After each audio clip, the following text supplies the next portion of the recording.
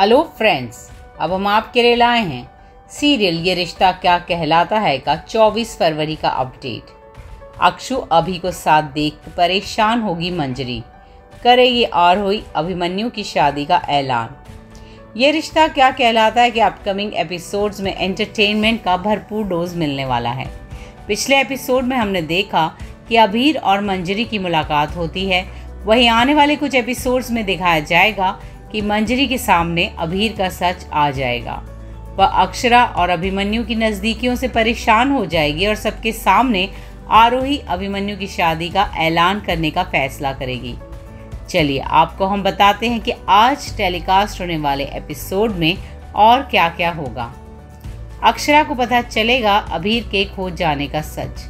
आज टेलीकास्ट होने वाले एपिसोड में दिखाया जाएगा कि अभिनव अभीर के साथ वापस गोयनका हाउस लौट जाता है। जब अक्षरा अभिनव और अभीर को अकेले देखती है तो वह परेशान हो जाती है। वह अभिनव से पूछती है कि बाकी लोग कहाँ हैं? तब अभिनव अक्षरा के अभीर के खो जाने का सच बताता है। अभीर बताता है कि वह कैसे बिरला हाउस जा पहुँचा। ये सब सुनकर अक्षरा हैरान रह जाती है। वह अभिनव से अभीर का ध्यान रखने वाली लेडी का नाम पूछती। लेकिन अभिनव उसे लेडी, यानी कि मंजरी का नाम पता नहीं होता है।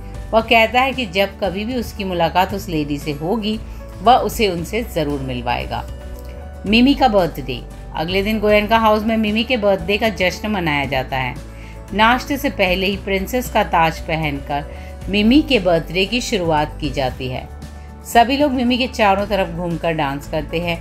इसी दौरान अक्षरा और कायरव का आमना सामना होता है। वे दोनों एक दूसरे से बात तो नहीं करते लेकिन मिमी के जन्मदिन की वजह से लड़ाई भी नहीं करते हैं। इसके बाद अक्षरा मिमी के लिए कचौरी का केक लेके आती है, जिसे वह अपने नाती अभीर के साथ मिलकर काटती है। गोयनका हाउस में मचेगा बवाल। बिरला और गोयनका हाउस में सब मिमी के बर्थडे पार्टी के लिए तैयार होंगे। यूँ तो सबके चेहरे पर स्माइल होगी, लेकिन मन में एक अजीब सा डर होगा। धीरे धीरे पार्टी में लोग आना शुरू करेंगे और फिर आगे दिखाया जाएगा कि एक कमरे में अक्षरा और अभिमन्यु की मुलाकात होगी। मंजरी दोनों को साथ देखकर परेशान हो जाएगी। फिर वह सबके सामने अभिमन्यु और आरोही की शादी का ऐलान करने का फैसला लेगी।